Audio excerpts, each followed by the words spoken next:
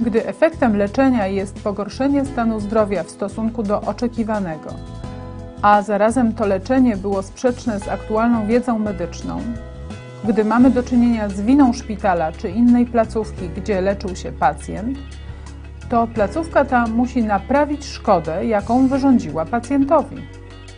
Podstawowym roszczeniem przysługującym pacjentowi jest zadośćuczynienie pieniężne za doznaną krzywdę. Zwykle najwyższa kwota spośród zasądzanych wyrokiem. Kwota ta jest zwana też wynagrodzeniem za krzywdę moralną. Wiąże się z szeroko pojętą szkodą niematerialną wyrządzoną pacjentowi, z rozmiarem jego cierpień, ze stopniem uszczerbku na zdrowiu, z tym, jak przebieg leczenia wpłynął na jego życie. Trudno oszacować tę kwotę, bo sytuacja każdego pacjenta oceniana jest indywidualnie i ostateczna wysokość przyznanego w wyroku zadośćuczynienia należy do oceny sądu. Najwyższe zadośćuczynienie z tytułu błędu medycznego, jakie uzyskał reprezentowany przeze mnie poszkodowany, wyniosło 1 200 tysięcy złotych, nie licząc odsetek. Wyrok zapadł w 2011 roku. Kolejny składnik rekompensaty to odszkodowanie. Inaczej mówiąc, zwrot kosztów, wydatków poniesionych na leczenie, na przygotowanie do wykonywania innego zawodu, na przystosowanie mieszkania dla potrzeb poszkodowanego.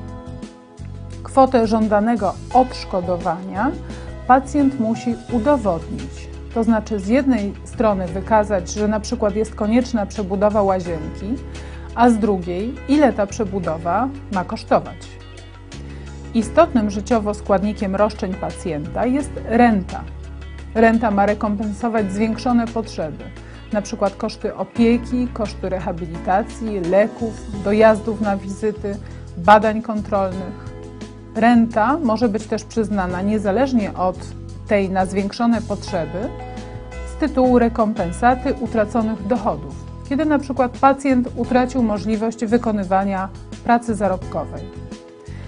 Ważnym dla pacjenta elementem wyroku, o jaki się ubiegamy, jest ustalenie przez sąd odpowiedzialności pozwanego, czyli szpitala, jednostki leczącej, odpowiedzialności na przyszłość. Oznacza to, że jeśli w przyszłości ujawnią się nowe szkody na zdrowiu pacjenta, będące konsekwencją tego błędu, którego dotyczy aktualny proces, albo kiedy powstaną nowe potrzeby, na przykład konieczność zakupu nowego wózka inwalidzkiego czy schodołazu, to nie trzeba będzie udowadniać odpowiedzialności strony pozwanej jeszcze raz.